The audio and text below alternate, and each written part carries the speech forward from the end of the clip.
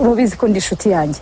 So ndidekuvura buri munsi buri munsi buri munsi. Ariko icyo nshima imana ni uko uko namye atari ko nkimeze uyu munsi. Kera mu bihe byashize namye ndi umuntu w'amahane kandi bitagaragara kuri njye. Ariko uko ndushaho kwegera imana nkabona iki sinshobora kukibona ntabanje kureka kino.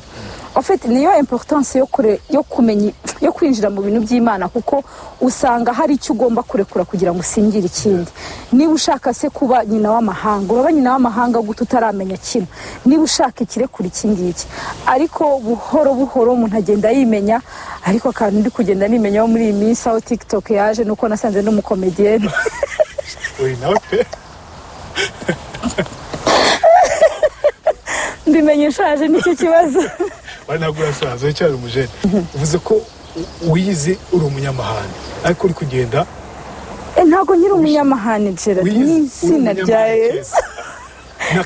wigeze gukora ubu ukaba uti uzi ko ndi umunyamahane kuko ya amahane burya reka nkubwire amahane. Nararwanye cyane. Muri pirimeri twabaga dufite gahunda zo kurwana. Aba- abanzi twiganye muri pirimeri nahatangaga rinye zo kurwana nkubwira wowe uzaze nzakumena. Nyuma ya tuwarete ibiki?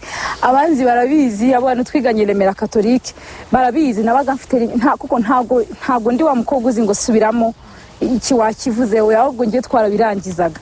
Ndabyibuka nkijya no muri segonderi natwaye iyo karagiteri nicaranye n'umutipe yankubise ingumi nzayumva nshaje. Sindayumva. Uwo mutipe yankubise ingumi? Nitangira kuza nzabibwira abuzukuru mbabwire ntiyi ngumi ni umuhungu wankubise urushyi twigana. Like nyine kwa kundi amahane ntatuma nyine uba imfura reka mbyite gutyo amahane akwambura ishema amahane akwambura agakiza ibyo ukora byose bikaba nta importance. Ariko ndashima imana. Uyu munsi ndabivuga nyine umuntu akiza indwara arayiganira. So arayirata. So uyu munsi hari ibintu mbona bigiye imbere yanjye. Nkahita nibuka ko bidahwanye nanjye cyangwa se bidahwanye n'uwimana impamagara kuba we cyangwa se icyo nzaba ejo bundi cyangwa se abari inyuma yanjye bandeba. Uyu munsi bazi nk'abantu mbere rero modo bakambona ndi kurwana mu isoko. Bakambona ndi muri ndi muri ya mirwano.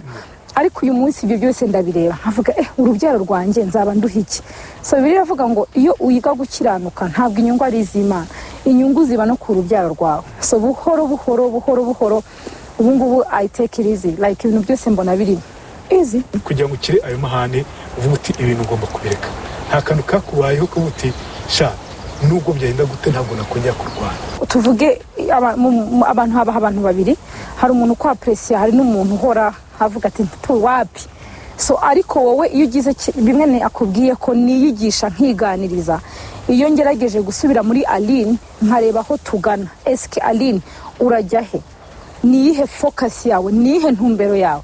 Ese ni gute? Noneho nkareba iby'imana integurira kuba byo. Noneho nkareba amafuti y'ubusa kwa kurwana. Actually ntabwo byavuye ku muntu runaka cyangwa se uwo nakomerekeje cyangwa se gufungwa. Oya kuko amahane cyangwa se kurwana kwanjye byabaga biri ibintu biri easy kuko nanjye wankubitaga umugeri nkagenda kabisa. Ntabwo nize karate ariko nyine amahane akwereka yuko eh, wabarangiza. Ariko ibyo byose mbyima agaciro mu buzima bwanjye. Kandi ikintu kigeretse ku mahane bigendana n'imyuka itatu. Bijyana n'umwuka w'ubwibone bugendana n'umwuka ah, wo kutumva ah, bikagendana n'ikindi kintu cyo kwishyira hejuru. Ariko ibyo byose iyo ushaka kuba umukozi w'imana ayo mababi yose agenda agukurwaho ugasigara uri umuntu w'imana. So rero nta kindi cyabinyigishije ahubwo nabyigishijwe no kuvuga ngo se ndagana he? Ese ejo bundi aho nzahagarara nkazamura ibendera ry'igihugu? Bakavuga ngo wa wundi urwana. Ibyo byose rero bigenda bituma imana ikwigisha ariko wowe wagize umwanya wo kwireba muri wowe kuko indwara yawe ni wowe uyizi kurusha uko undi muntu wese yayimenya. Ikindi nanone amahane ntatuma ukuri kwanjye ko mugumisha muri njye. Gerard ntabwo nshobora kukubona umbwiye ngo ushobora guhagarara ukantuka. Ngahita ntekereza igishobora kuntuka. Urimo kuntuka kubera yuko wuzuye kuko mu muntu rega aruzura bigatuma untuka. Ariko ntabwo ushobora guhagarara hariya ngo uvuge ibintu nzi neza yuko kuri njye atari ukuri ngo nkwihorere. Oya nanone ntabwo uzaza ngo wanduze umuntu. Reka nkubwire na yesu yasanze bacururiza mu nzu. Y'imana arabahuragura.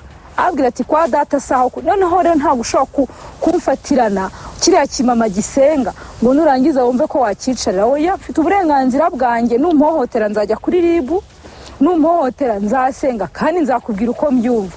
Rero ntabwo ibyo numva nk'ukuri. Nzabigumisha muri njye kuko nzaba mbaye indyarya. So bivuze ngo rero atake yose ushobora kwizana. Mbere na mbere mbanza kuyica mu izina rya yesu. Ariko nanone nahawe akanwa. Kuko akanwa ni akantu kabi. Ushobora kuvuga ngo eh, urugero ukavuga ngo abantu benshi bababajwe. Ukabona umuntu ukavuga ngo reba ukuntu rungana we ngo rumeze nku- nk'urugagi. No ni umuntu. Façon ni umuntu. Hari umuntu wigeze kubwira undi? Wo kumana ngo gifite ibibere binini. Birananira kwihangana ndamubwira nti ariko ubwo iyo uvuga ibere muri rusange wibuka yuko wonse niba utaranonsa umu- umubyeyi umugore wawe azonsa. Hari amagambo tuba tugomba kwicisha abandi ngo twitwaze yuko mutari busubizwe. No kumubwiza ukuri nkamusubiza mu murongo na byo buri muri bya bindi nahamagariwe. Kuko nasubira mu murongo uyu munsi umuntu wese twahuye ashobora kuba ashobora kuba against aline. Uyu munsi barahari benshi. Kubera ko wabaga uzi ko ndi bugusubize. Icyo ntari bugusubize sindi bugutuke. Nuntuka kabisa ntabwo ndi bugusubize igitutsi. Ko ineza ihosha uburakari. Ariko nutangira gusebya ikintu runaka. Nka hano hantu turi si heza. Ubusereba umuntu aje agatangira akavuga ati iki hano hantu imibu ni myinshi. Ntabwo byambuza kukubwira yuko hano hantu hari utunyoni dufite amajwi meza. So ni ukugusubiza mu murongo ukwiriye kujyamo. Ntabwo ari ukugusubiza by'amahane. Ahantu ni muri sande pake bazaze banahatemberere baharebe neza. Gusa nanone ari uvuze ku byerekeranye no gusubiza abantu uti mfite akanwa imana yarakampaye ariko nanone bibiri ahantu bavuga bati umuntu nagukubita urushyi mu musaya umwe uzamuhe n'undi musaya hareruya ibyo ahantu mbyumva ko bishobora kuba. Ushobora kuza uri umusazi. Iki gihe turimo noneho ukaza uri umusazi uje uri umusazi ukankubita urushyi ntabwo ndi bugukubita urundi rushyi. Ahubwo wa musaya ndi bukoreshe ni iki? Ni uko nshobora kugufata ushobora kuba nakujyana indera nkanakwishyurira bakakuvura. Ariko ntabwo ndi bukwemerere yuko witwaza ikiri mu mutwe wawe ngo uze ukimpereho jame oya kuko reka nkubwire. Ubu buzima bwanjye niyo praise and worship. Ubu buzima bwanjye ngomba kubuprotekitinga uyu mutima wanjye ngomba kuwuprotekitinga kubera iki? Hari icyo ndi gusaba imana kuba cyo. Rero ni- ni- ni- nimba agatebo ndayora ivu ntabwo ndi buyore agatebo. Kubera iki? Agaciro urabyibuka ni cyo twigishijwe muri iki- ni ngewe nkiha agaciro nitwe tukiha agaciro mu bumana rero ni umuntu ukiha wibona umuntu ngo pasiteri se ngo ubu yakora ibi ngibi? Ni pasiteri ariko yabyawe n'umugore. Ni pasiteri ni umuntu nkawe. Nawe wigerageza kumugerageza cyane kuko de façon ntabwo ari yesu. Ntabwo umuntu ashobora gufata undi ngo amukandamize ngo amukandagire yitwaje ngo iki n'iki ni- oya nawe afite uburenganzira? Niko njye mbyumva gerard. Uri umurokore uri umukirisitu uri umusilamu uri padiri uri iki ngiki ntabwo umuntu afite uburenganzira bwo kubuza undi uburenganzira. Icyo wakwitwaza cyose. Cya kintu cyitwa guca bugufi bibure yigisha umusaya dukubita tugatanga undi kikazaza ryari? Ya guca bugufi ni ibintu byakagombye kuba ibintu bya buri muntu wese. Kuko ikintu kimwe na kimwe mu nyigisho yo guca bugufi iyo nibutse ko hari ikintu kintegereje cyitwa urupfu ndushirizaho guca bugufi.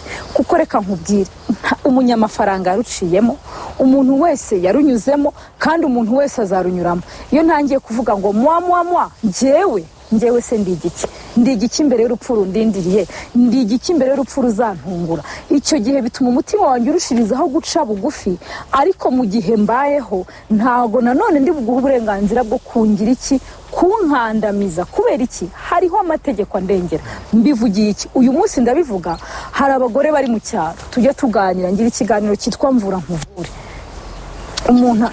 umuntu akaza akakubwira ati njyewe impamvu ndi mu rugo. Ni ukubera yuko umugabo wanjye yishyurira abana ishuri. Njye nta bushobozi nzabona. Ariko umugabo wanjye ntabwo icyumba cyanjye nkibamo kibamo umuyaya njyewe ahubwo ndyama iruhande rw'abana. Ese uwo muntu azahorana agahinda? Cyangwa azagenda ajye kuri wani wani sitopu senta avuge akababaro ke. Ese uwo muntu azaba yishyize hejuru cyangwa azaba aharanira uburenganzira bwe? Ugasanga mbaye mu rugo ndi imfubyi ariko ndyamana na, papa wo mu rugo kubera iki? Kubera ko ndi imfubyi nyamara ntabwo byakagombye kugenda gutyo kubera ko de toute façon ndi imfubyi ejo nzavamo umuyobozi w'igihugu. Ndi imfubyi ejo izavamo umubyeyi. Ntabwo rero ndi bukwemerere kwica inami. Ninkwemera kwica inami ngo ni uguca bugufi. Nzangirika. Nzangirika mu bitekerezo nzangirika mu mutwe nzangirika ahantu hose. Ariko nimenya imana nsenga? Nkamenya n'uburenganzira bwanjye. Ubu se ngubu nakwitwaza uburokore nkaza nkakwesikuruka barahari. Ariko uwo murokore ntuzarebe ngo ni pasiteri uzamurege kuko hari amategeko akurengera. Nibyo nakubwiye uca bugufi ariko mu guca bugufi ukareba uburenganzira bwawe. Naje gusanga abantu benshi batazi uburenganzira bafite ku isi. Mu by'ukuri twese ku isi turi abagenzi. Abafite hano turi muri taransite nyir'ibyondo wo ku isi ni imana. Iyo yabishatse aravuga ati ndagukura muri ubwo buhungiro muri, taransite nkwimukane. Ariko twebwe twashatse gufata isi nk'aho ari iyacu. Nyamara mu isi turi abagenzi. Ngize neza nkigendera. Ineza nayisanga imbere.